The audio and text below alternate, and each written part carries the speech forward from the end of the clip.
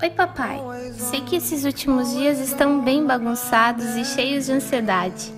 Por causa disso, eu e a mamãe resolvemos fazer esse vídeo para ti. Que ideia boa, né? para começar, pode ficar tranquilo, papai. Nós estamos bem. Eu, particularmente, estou num lugarzinho super confortável. Tenho tudo que eu preciso aqui dentro. É muito gostoso. A mamãe às vezes reclama que eu tô pesado e que sente dores aqui e ali, mas ela já disse também que por mim tudo vale a pena. Que bobinha essa mamãe, né? Ela vive dizendo que vai dar tudo certo. E se a mamãe disse, é porque é verdade. Tu sabe, né, papai? Ela sempre tem razão e tá certa.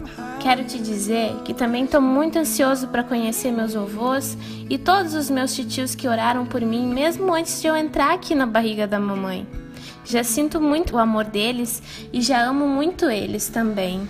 E claro, né, papai? Apesar de ser muito gostoso aqui na barriga da mamãe, não vejo a hora de te ver, ver a mamãe e ganhar carinho de vocês. A propósito, tudo fica muito mais gostoso aqui dentro quando eu sinto teu carinho e escuto tua voz me chamando. É muito bom quando tu tá perto, papai. A mamãe anda nervosa ultimamente, tudo ela chora. Não dá bola, tá, papai? Ela te ama muito. E dizem que depois que eu nascer, tudo isso passa. Ah, papai, eu ouvi ela dizendo que quando tu canta, ela fica mais tranquila. Eu também amo te ouvir cantar, papai. Promete que quando eu nascer, tu vai cantar para eu dormir? A mamãe às vezes tenta cantar para mim no chuveiro, mas ela não tem a voz tão bonita quanto a tua. Tadinha da mamãe, né?